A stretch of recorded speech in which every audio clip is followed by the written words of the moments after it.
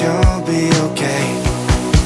Don't stay looking out the window. And how late do you plan on going nowhere? Afraid of all the things you don't know. There's so many reasons. Mm, hey, hey, how's it going, guys? So, yes, I'm eating McFlurry at 12 a.m. and loving life because it's officially summer. I love ice cream. I deserve it, and I mean, it's freaking summer, so why not? While late night ice cream runs are literally the best part of this time of year, other parts of summer include things like beaches and bikinis, hot, sweaty weather, and typically me feeling too big in my own skin. I get so many comments and messages and DMs from you guys, and even just my friends so often complaining about how they don't know how to be okay with their bodies this summer. How to feel good the way they are, because either every pair of shorts is a little bit too tight, every piece of clothing looks just a little bit wrong, or there are just too many expectations and too many ideals, too many sizes and rights and wrongs and numbers to fit into and clothes and people that we've grown out of and hateful comments about our bodies and when that's what summer oh comes with. Such a good afternoon snack.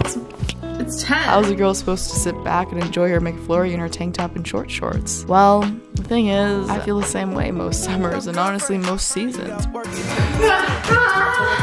Truth is, while I'm always all for you doing you, buy new clothes, eat more, eat less, boob jobs, manicures, or just flaunting what you got, nice, nice.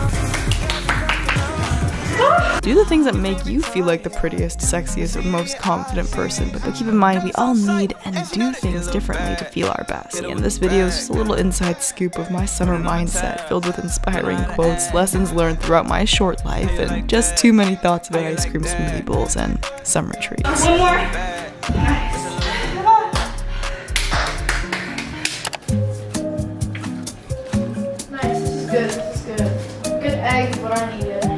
I a lot of breaks. I did push myself, but I did take good breaks. Proud of you! This might be a life-changing moment. Just a little. Yeah, I just don't. I don't want to ruin the whole bobo I don't even have. Ah! Cindy said this is the way to eat. It's the Korean way. Oh damn. It's actually kind of fire. It's so good like this. It's not that good, but it's pretty good. So when I move my body, whether it's aggressive panting and sweating and pain or a yoga flow or just walking Milo, every time it helps remind me of how incredible my body is and that it doesn't deserve to be treated as if it's not worth my time or judged based on what other people think my body should look like. Moving my body simply just helps me feel good about myself. Exercise doesn't have to be about weight loss or toning up or burning fuel. It can be just about feeling good. It should be about health in whatever way that means to you. It should be about celebrating you and your body as we should be celebrating it every day. Ooh, okay. So, do you want to try fire noodle? Oh, So I challenge you to try a new way of moving your body this summer. fire noodle? Hmm. Crazy!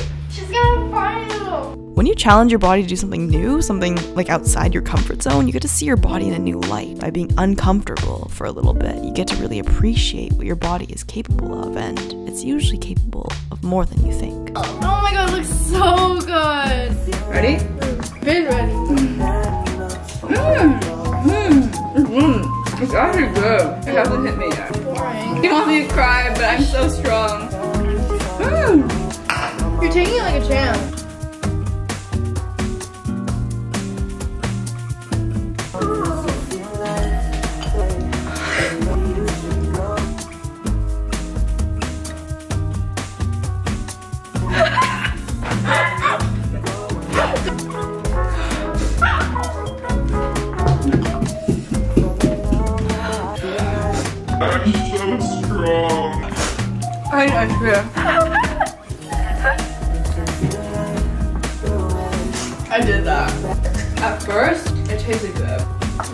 No, I It sucks. It really does when you realize your favorite denim shorts no longer fit you perfectly. It sucks when that dress you felt so confident in last year now makes you feel like a failure. Who knew clothing could do this? Mixed with the heat and the sweat and the bloating and chafing, wearing clothes can become your worst nightmare. Yeah, I know that feeling. I felt it this morning, probably 10 minutes ago too, but I realized there's no point in living your life and ruining your entire beautiful summer day getting caught up in a reflection in a pair of shorts. All bodies can wear any clothes, can wear anything they wish. All bodies are good and beautiful, and I wish I could remind you of this every single day. So every time you're second guessing your outfit or that piece of cake you ate or whether or not your body's good enough for that tank top, I want to remind you you look freaking amazing. And don't forget to just enjoy yourself. Basically only see me wearing sports bras, leggings, and baggy pajamas in every video, I actually do uh, surprisingly enjoy wearing real clothes actually probably one of my favorite things to do. Wearing cute clothes, buying cute clothes, buying too many clothes if I'm going to be completely honest. So that is why I'm very, very, very excited for this little haul I'm about to show you guys. Featuring the sponsor of today's video, Princess Polly. Everything I'm wearing and showing you guys and hauling today will be from Princess Polly. They've actually given me a discount code to give to you guys so you can use SUN20 for 20% off your entire purchase. All of Princess Polly's clothes ships directly from the United States and there is free express shipping to the US on orders over $50. And they also offer Afterpay to all US customers. I'm not kidding when I say I actually have been neglecting all the other clothes in my closet because I seriously don't want to wear or need anything else other than the stuff I'm about to show you guys. First, these freaking jeans. It's actually weird that I'm not wearing these right now because I have not taken these off. These are more comfortable than my pajamas, they're more comfortable than my leggings. I seriously sleep in these. It's honestly kind of scary how much these jeans speak to me. We've just built a connection, I don't know. So if you're in the market for some baggy jeans, A classic white tank, you can't really go wrong whenever I'm feeling, you know, I'll wear these with the jeans and just make everything just cute. I'm pairing it with a beautiful gold necklace. These necklaces, I swear I've been looking for forever, but I'm not about the rusting and like the weird smell that comes with the rusting when you buy cheaper necklaces. But this necklace is 18 karat gold plated and I basically wear it out every day. I work out in it, which means I aggressively sweat in this and there are no problems and the smell, still great. These shorts, okay, so comfortable, so breezy, so summery. I can eat endless amounts of food and it's not constricting. One of my go-tos. You know, denim shorts and I, we've had a love-hate relationship, but these shorts are just too cute and too comfortable for their own good. And the little rip in the front, like come on, no complaints. And then I got the sweater, which I think every single person that shops on Princess Polly owns and for good reason because it's so freaking soft and cozy and, and I, I, yeah. It's just the sweater you know? You can't really go wrong with a big baggy tee in the summer. You just can't. I'm planning on wearing this one to death so. Well this is just a little bit out of my comfort zone. It's actually no it's it's like super super out of my comfort zone but it makes me feel confident and kind of like badass. So yeah, I got two colors. It's like a fake it till you make it mentality. Remember, it's good to step out of your comfort zone. And then we got this cute little plaid shirt, you know, wear by the fire, by the beach, at nighttime, whenever you feel like it. And then I got this cute little white skirt for when, you know, I'm trying to feel cute little white skirt vibes. The slit really just long sleeve crop top. I've been seeing everywhere and it's just, obviously I can't not buy this. Obviously I can't not. So as you can tell, I'm a very happy human right now. And I'm feeling good and confident and kind of cute. And I'm not complaining. So thank you Princess Polly for that happiness and confidence boost that I really needed. I know people say clothes aren't a real oh, fix to our problems, but for me, I love finding the cutest clothes that make me feel good and confident and comfortable and accentuate the parts of me that I'm proud of and I want to show off for me. That makes me feel good for me. And that is more than just a piece of fabric that covers me up, hides my insecurities. It builds me up and it makes me more me. Guys, you gotta just wear clothes that make you feel good in your own skin. Don't change yourself so that you can look good in those clothes. Those clothes aren't worth it. You know, you're the only one in the end deciding what size and lifestyle and body makes you happy, but just know you can decide that. You can change, or you can embrace the newness in your life. You can be happy at any size, seriously. And you can wear whatever the heck makes you happy. So Okay, it's so good. Mmm, it's good. It's good. Mmm, yay.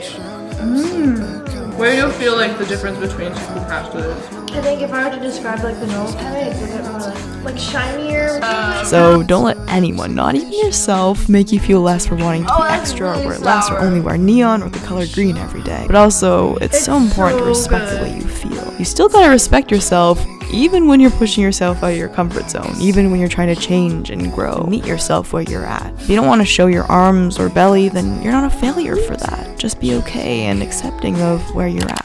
I know, I know, I'm pretty boring. I eat the same foods, I love ice cream and fresh food and smoothie bowls, and yes, Linda, we know, oatmeal, You won't have to tell them again, but this is just me being honest with you guys and being honest with my body because eating these meals, they make my body feel alive. And that feeling is something we all need. Feeling alive to me, full of energy, ready to take on the day. I need to be fueling my body right, fueling my body to really live life fully. For example, eating spicy ramen killed me, and I guess you could say it made my mouth feel really, really alive. And yeah, it may lack some nutritional value compared to other meals, but you know, sometimes it's about how you measure what it means to be healthy and how you define alive. Because I'd say that experiences like spicy ramen challenges and going out for bubble tea and ordering way too much Chinese food are activities abundantly full of life and memories and stories. And that's also what fuels my life. A different kind of nutrition, a different kind of alive. Smoothie bowls and veggies make my body feel good, yes, but french fries and kimchi pancakes can do the same thing in a different way.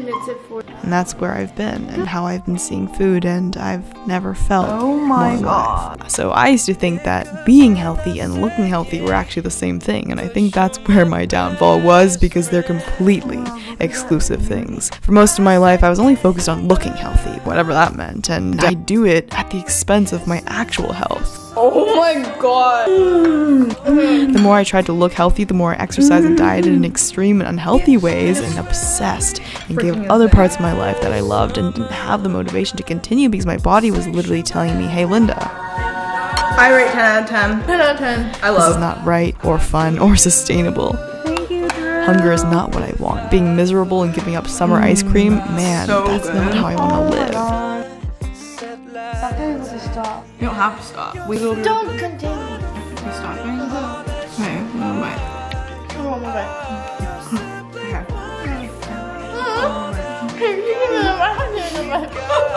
Now I know that I actually feel most confident and beautiful when I'm healthy and happy, which is when I'm not constantly worried about my appearance and dieting and hating myself, but instead spending time with friends, eating bowls of chips, swimming without another care, laughing and eating and prioritizing living, and being able to see that moments like those, they're considered health too. Now looking back, it's so clear that I can't even look my best if I don't feel my best because I only feel my best when I am healthy and happy. So you need both and you'll get it. We can choose nourishment over deprivation. We are so focused on being small or eating less, restricting on this, cutting this out, banning these foods. We're always taking away and thinking that that will help us gain more confidence, more attention, more self love, more health.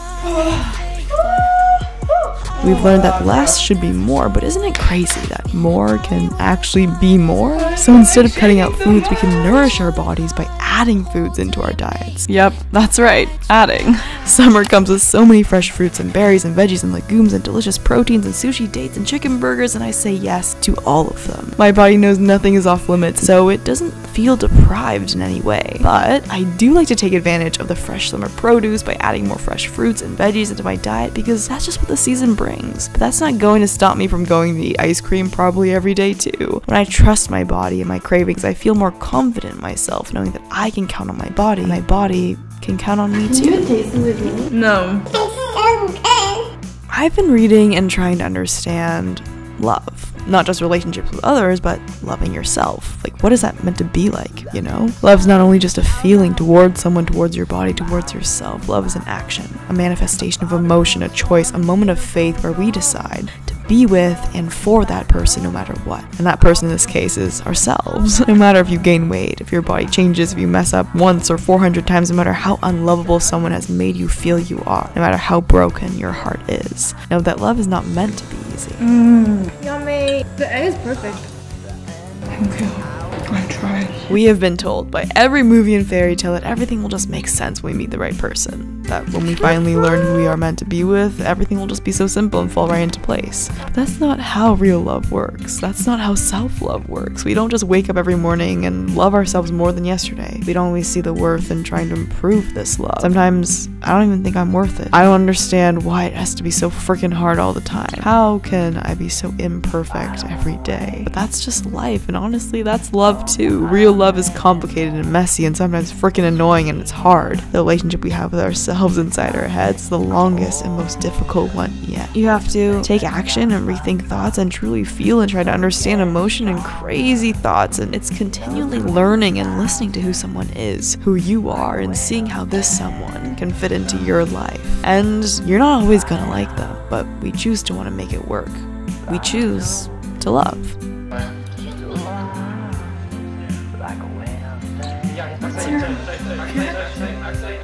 Love is seeing your own faults and accepting your past and the grudges you hold against yourself, and just believing that you will make the relationship work and that you can find love for yourself regardless of all the pressures and the culture and the hatred you may feel.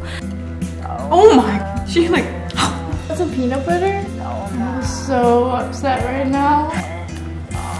Oh, I'm sure there's none left. A rice cracker feast right now. I think love is you choosing you again and again, regardless of the things trying to break you down or break you apart, regardless of the shame you may feel from eating five slices of cake or the fear of change, the lack of trust in yourself or others, the what ifs, and the shorts on the floor of your closet that no longer fit. So, no, they never said love was easy, oh, I overcooked the egg, unfortunate. but self love, we need to find that because self love is what will carry you through life, through loving others, through forgiveness and bad days, the relationship with yourself. That relationship is one worth fighting for. Even when life is heavy and all things are too much, and maybe you feel like you made the wrong decision, maybe you feel like you're too big or too small, maybe nothing feels like it's going right, and maybe the right things even feel wrong, maybe trying feels like the hardest thing in the world, and loving yourself, whew, no way. But nevertheless, I hope you never give up on this love. Because when your heart aches and your eyes are disappointed at the scale and the words health and happiness have basically lost their meaning, and even when you don't understand your body and why bad things happen, why there's so much hate and fear in the world, even here and now, no matter what you are feeling, being content, being okay, being happy, and just love is what you are worthy of, and never let yourself forget that. A huge part of accepting my body and who I was was being able to forgive myself. Only after I forgave myself could I fully and freely live and be happy while doing that. I was always like, I have to live with my mistakes and the consequences. It's not the same as forgiving someone else, but honestly, it's no different. To be who we are unapologetically and to walk through life confidently as the people we're meant to be, we must forgive ourselves too. Forgiving yourself means allowing yourself to move past the grudges and the anger and the bitterness you hold against yourself, the times you think back to and regret. And the times you know you're a little bit embarrassed by. It's about moving past the mistakes, the past that keeps you from being truly happy now. Confidence is really in how you wear it. So good. You have to wear it even when it doesn't feel comfortable because only with practice can this confidence become second nature, like putting on a pair of shoes. You no longer have to wear it, but your confidence will lead you and begin to carry you through your life. And this confidence will lead you to great places if you're willing to you were having a birthday. This confidence and forgiveness can free a place in your mind that has been taken up and that has prevented you from reaching your fullest potential. This forgiveness will allow you to love and do the things you love. fully. Sushi. Sushi. Sushi. Ladies and gentlemen, Go go Know that confidence and strength will look different in each and every season of your life. In each new season that life brings, we're different. We grow, we change in ways that maybe we can't explain or haven't noticed, but we can't expect each chapter of our lives to bring the same challenges, the same worries and obstacles. We can't expect that we'll look the same because we've been shaped by our experiences. We are challenged and troubled by life. We are facing our fears. For me, this feeling of confidence is found through my words, my story, knowing the value of my word, and how hard I try to be true to who I am. Confidence is knowing I deserve better when I feel empty. Confidence is that feeling after a run when you feel like you can conquer the world. Yeah, confidence is embracing life with all the pain and hate and violence that comes with it. all the hard moments and breakdowns. And trust me, there are still harder days to come. More fears to face, more bad body image days, more impossible days. But I also hope you can find confidence in knowing that there are even more good days coming and that there's time to heal that there's time to take your time, and I hope that can give you the confidence to push through. Because day after day, every new step and breath and decision matters, and it'll reveal to you the strength and confidence that has been inside of you all along.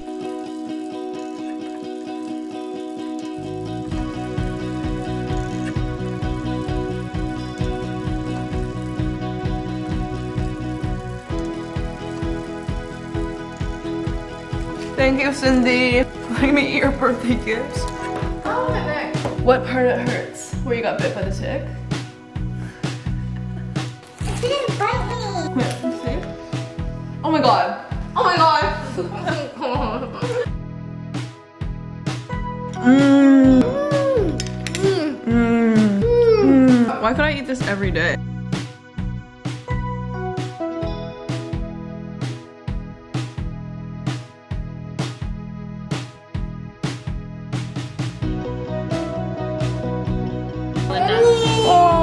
guys. Oh very lovely. Happy birthday, Sydney! Happy birthday, Sydney! So beautiful. It's real. No, we're gonna go. Thank you so much.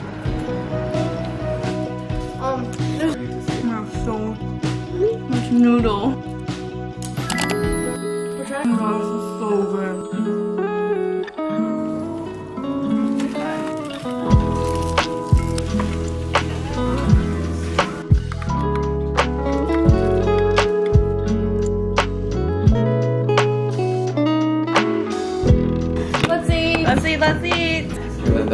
The, the, the limited ketchup that we have. Thank you, Matt.